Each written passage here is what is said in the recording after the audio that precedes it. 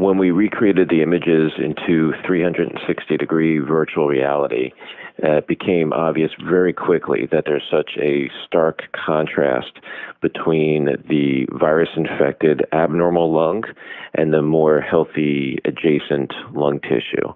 And it's such a contrast that you do not need an MD after your name to understand these images. This is something that the general public can take a look at and really start to comprehend how severe the amount of damage that this is causing to the lung tissue. The damage that we're seeing is not isolated to any one part of the lung. This is severe damage to both lungs diffusely. So, when you saw this, what did you feel? What was your first reaction? My first reaction is you know, as somebody who spends a lot of time uh, educating the public about various conditions as well as professionals, I wanted to get this message out and get the get this picture out to the public so that people who so far have not been heeding the warning of public health professionals can perhaps see these images and see the destruction that is uh, being caused in the lungs and why these patients' lungs are failing to the point of needing a mechanical ventilator. Hopefully, the public can see these images and really start to understand why this is so serious and how this virus really is not discriminating uh, amongst various people, how it is really starting to affect people of all different ages.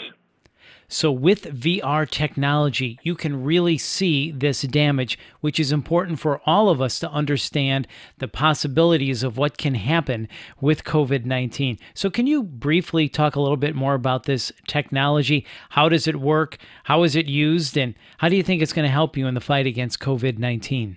So at GW, we've been using the Surgical Theater 360 degree VR platform for approximately four years. Uh, we were the first uh, thoracic program in the country uh, to use this particular software to create VR images.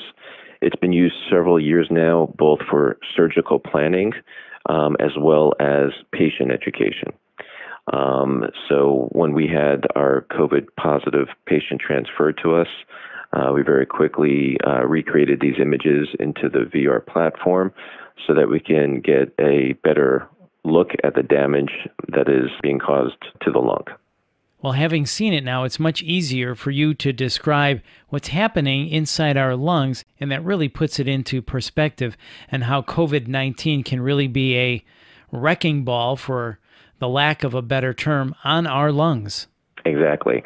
Uh, we, we do know that the majority of patients who are testing positive for the virus uh, exhibit very minor or maybe even no symptoms, but approximately 20% of patients are exhibiting uh, shortness of breath and more severe symptoms.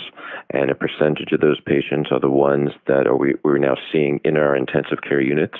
And many of those patients are requiring uh, mechanical respiration, requiring to be put on a machine to help them breathe.